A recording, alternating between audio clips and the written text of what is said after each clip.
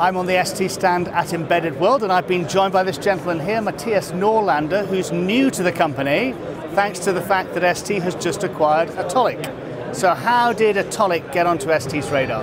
Yeah, it's a good question. Well, um, partly it's because uh, ST already had a big user base in uh, the TrueStudio tool. They were really happy with the tool.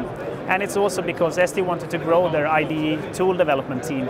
And we made a good fit there too. So that's essentially it. And beside that also, yeah, uh, the real story I guess is that the tool with professional feature now is for free.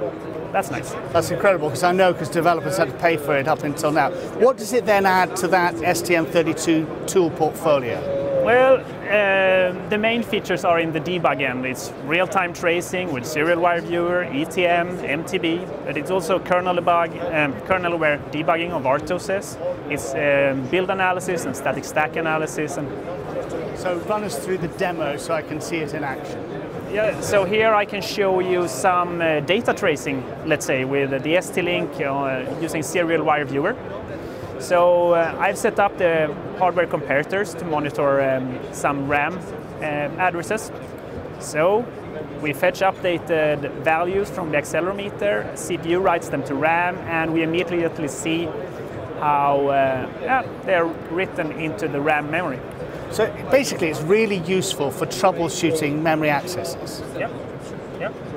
Amongst other things. Uh, what about evolving TrueStudio now?